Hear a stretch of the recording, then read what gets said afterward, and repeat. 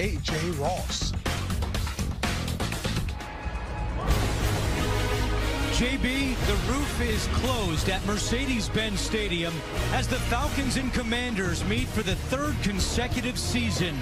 Washington's defense is led by Chase Young, and he'll have his hands full with the sensational rookie running back, Bijan Robinson. And hi, everyone. Alongside Matt Ryan, it's